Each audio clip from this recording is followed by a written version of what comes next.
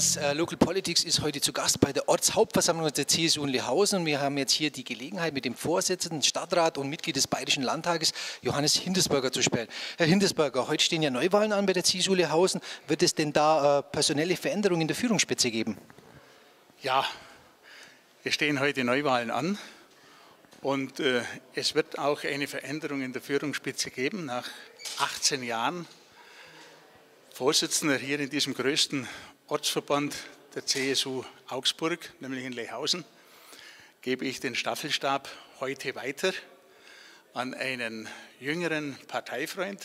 Ich bin sehr froh, dass wir hier einen harmonischen Übergang finden. Es ist wichtig, auch äh, jüngere, engagierte Leute in die Verantwortung zu nehmen. Und äh, von daher bin ich sicher, dass äh, hier mein Vorschlag, den Freund Horst Hinterbrandner als meinen Nachfolger äh, von der Mitgliederversammlung auch dementsprechend gewürdigt und aufgegriffen wird. Als CSU-Stadtrat ähm, ist es immer für Sie leicht, äh, Lehauser-Themen in den Augsburg, in den CSU geführten Stadtrat zu bringen. Welche Lehauser-Themen wird man denn dort insbesondere im Jahr 2011 diskutieren? Ja. Es sind äh, letztlich drei Schwerpunkte. Einmal, und das ist ganz äh, wichtig, dass wir hier den vierstreifigen Ausbau der kleinen Ostumgehung wirklich jetzt in Angriff nehmen. Dafür haben wir in den letzten Wochen nochmal auch Gespräche bei der Regierung von Schwaben äh, geführt, was die Zuwendungen des Freistaats anbelangt. Diese Zuwendungen sind mit über 65 Prozent äh, gesichert.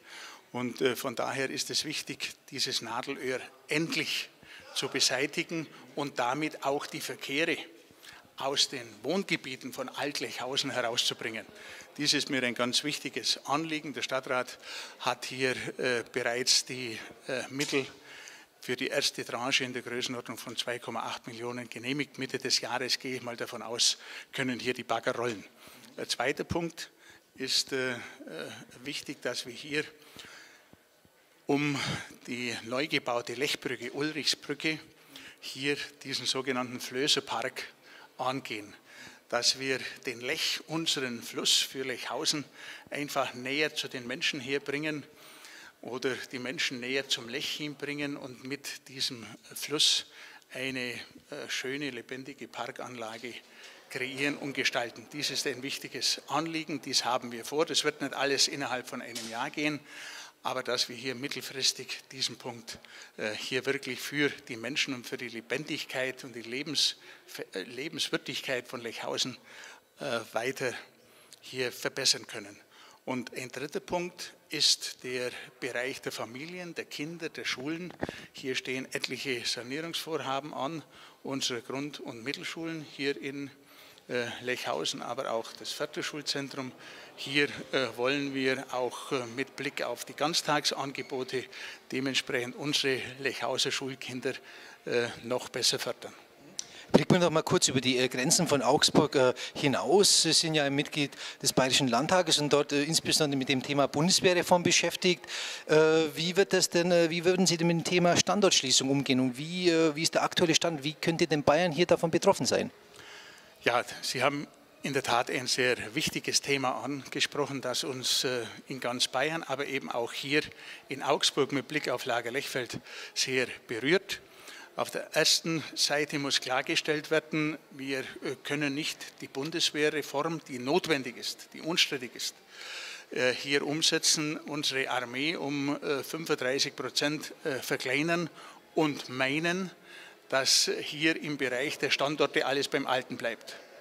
Dies passt nicht zusammen, dies muss auch ehrlich gesagt werden. Für Lager Lechfeld insbesondere äh, gilt, dass äh, hier gerade die zivile Mitnutzung des militärischen Flugplatzes heute schon ausgesprochen erfolgreich mit EADS, Premium Aerotech und dem Java-Geschwader hier praktiziert wird. Dies ist ein besonderer Punkt, der Augsburg hier äh, vor vielen anderen Flugplätzen der Bundeswehr auszeichnet.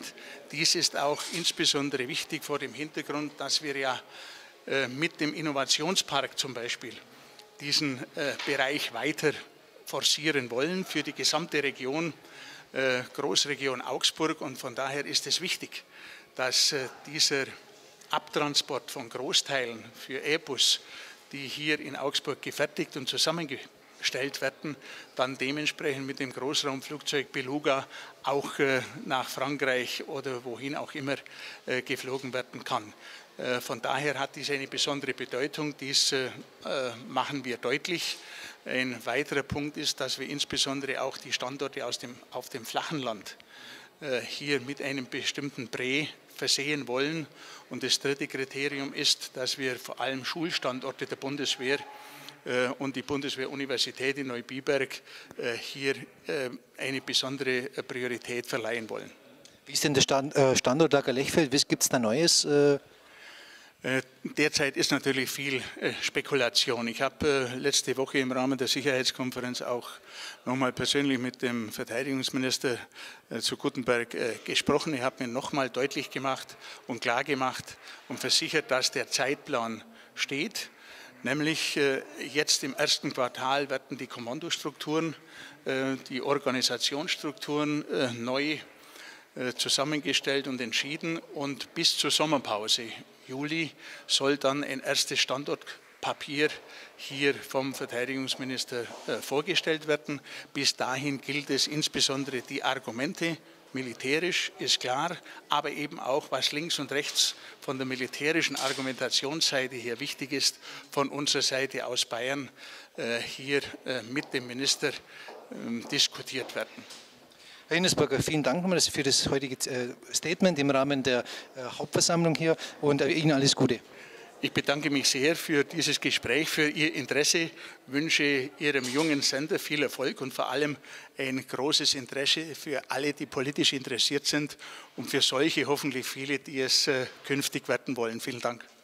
Ja, das war das Interview mit äh, Mitglied des Bayerischen Landtags, Johannes Hindesberger. Äh, ich bedanke mich fürs Zuschauen und wünsche Ihnen alles Gute.